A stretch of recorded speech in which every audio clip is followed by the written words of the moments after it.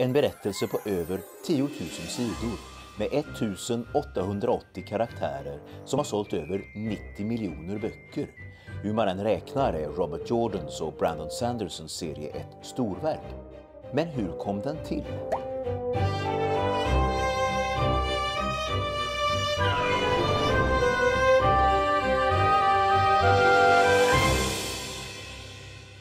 Hallå och välkomna till Fantasykanalen. Här pratar vi om fantasylitteratur och annat härligt.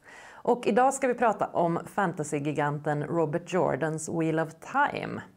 Glöm inte att prenumerera på kanalen och klicka på den lilla klockan så får ni notiser varje gång vi släpper en ny video. Ja, Stefan. Robert Jordan alltså. Ja, det här är ju minst sagt en gigant inom fantasy. Det var oerhört många som läste Wheel of Time eller Sagan om drakens återkomst som den hette på svenska.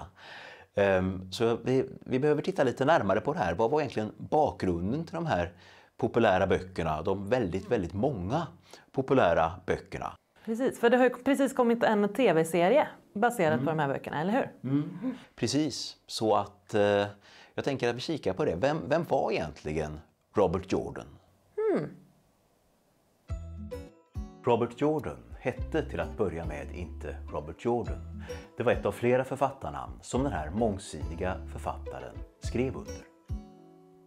James Oliver Rigney Jr föddes däremot 1948 i Charleston, South Carolina i USA. Efter high school började han läsa på universitetet men efter ett år hoppade han av och tog istället värvning i armén. Vid det laget var det sent 1960-tal och USA var halvvägs genom kriget i Vietnam. Rigney gjorde två vändor som helikopterskytt till slagfälten på andra sidan Stilla havet och fick fyra medaljer för sina insatser. 1970 lämnade han armén och gick tillbaka till högskolans något lugnare värld för att studera fysik. Det blev examen 1974 och ett jobb som kärnkraftsingenjör i amerikanska flottan. Och nu började James Rigney skriva på allvar. Första fantasyromanen Warrior of the Altai skrevs på 13 dagar och var på väg att ges ut. Men förläggaren drog sig ur när Rigney ville göra en ändring i bokkontraktet. Det blev istället den historiska romanen The Fallon Blood som blev första publicerade romanen när den gavs ut 1980 av förläggaren Harriet McDougall. Författaren och förläggaren gav sig ut på turné för att promota boken och förälskade sig i varandra. James Rigney och Harriet McDougall gifte sig 1981. Nu skrev alltså Rigney historiska romaner, men när hans förlag Tor Books fick rättigheterna till Robert E. Howards gamla fantasykaraktär Konan Barbaren så behövdes en ny Conan-roman illa kvickt och Harriet McDougall berättade att hennes make skrivit sin första roman på bara 13 dagar. Rigney fick uppdraget att skriva Conan och det gjorde han under namnet, just det, Robert Jordan. Det blev sju Conan-böcker men 80-talets fantasy dominerades inte av den sortens svärdsvingande barbarer utan av quest fantasy i Tolkiens efterföljd. Det skulle vara oundvikliga öden, långa resor. Det fick gärna sluta med att landet helades och att magin antingen räddades eller förlorades. David Eddings böcker om Belgarion hade börjat komma ut 1982. Tad Williams serie Minne, sorg och törne skulle komma några år senare och det fanns många, många andra varianter på det här populära temat. Så 1984 föreslog Jordan, som vi lika gärna kan kalla honom nu, en episk fantasy-trilogi för Tom Doherty, chef på Tor Books. Doherty gillade idén, men han visste att Jordan brukade skriva ganska långt. Så han föreslog att istället för tre böcker så skulle det bli sex böcker. Det måste ju räcka med sex böcker. Eller? Jordan började skriva det som skulle bli första boken i The Wheel of Time, Drakens återkomst på svenska. Från början var tanken att det skulle handla om en äldre man som upptäckte att han var den utvalda fantasyhjälten. Men det visade sig bli svårt att skriva, så Jordan lade sig istället närmare Sagan om ringen med yngre, mer oerfarna karaktärer. Det gjorde susen och boken The Eye of the World kom ut 1990. Det blev succé direkt. Tor hade tryckt 40 000 exemplar och de sålde slut. När första boken packades upp i bokhandlarna var Jordan dessutom redan klar med den andra, The Great Hunt, och den sålde 80 000 ex. Fenomenet var ett faktum. Fenomenet behövde två år för att sprida sig till Sverige, men 1992 kom en svensk översättning från förlaget Natur och kultur. Man delade upp varje engelsk bok i två svenska böcker, så det är helt olika numrering för svenskt och engelskt. Här kommer jag att prata om den engelska numreringen. Så vad handlar det om? Jo, världens skapare har fängslat sin mörka motsvarighet Shaitan, Satan fast på arabiska. Men Shaitan är på väg att rymma och som motvikt skapas en otroligt mäktig magiker som kallas för Draken för att bekämpa honom. Draken lyckas spärra in Shaitan igen, men inte förrän den mörke har förstört männens magi, på så vis att män som använder magi blir galna. Draken och de andra galningarna ödelägger världen. När första boken börjar har det gått 3500 år sedan den ödeläggelsen. Men tiden går i cykler i den här världen. Det är därför det är så mycket prat om the wheel of time, tidens hjul som snurrar runt så att det som har hänt kommer hända igen. När första boken börjar håller alltså Shaitan på att rymma igen och draken har blivit återfödd för att stoppa honom igen och för att ödelägga världen igen. Precis som i annan Quest Fantasy möter vi hjälten Rand som ung man hemma i en liten by som han snart måste fly från. Han samlar på sig följeslagare och så reser de fram och tillbaka över kartan och skiljs åt och har ofta äventyr på olika platser.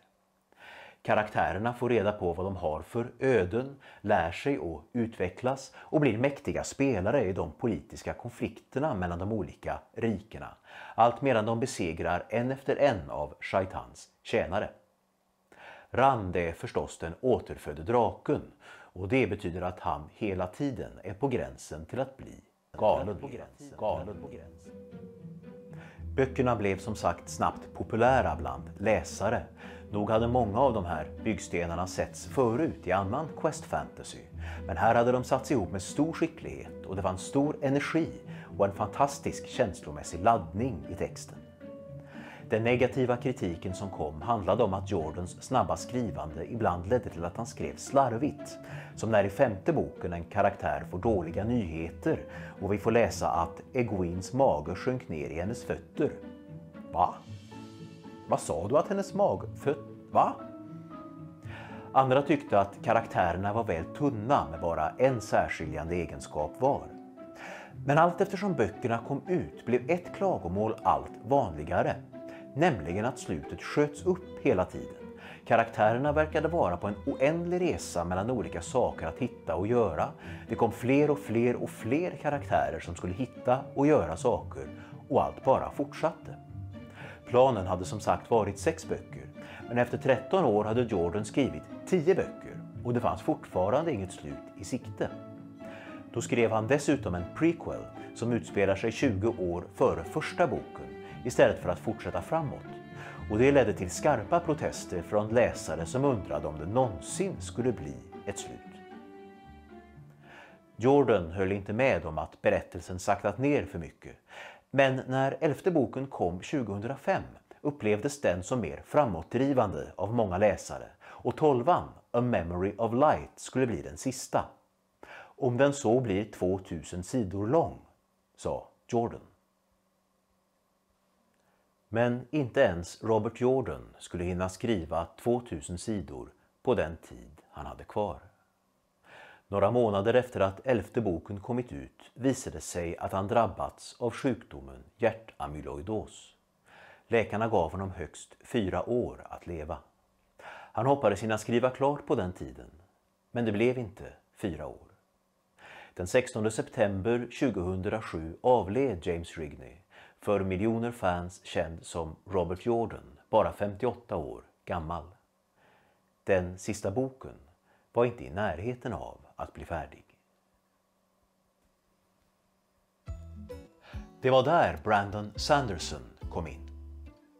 Jordan hade gjort omfattande anteckningar för att någon annan skulle kunna ta över och skriva klart sista boken.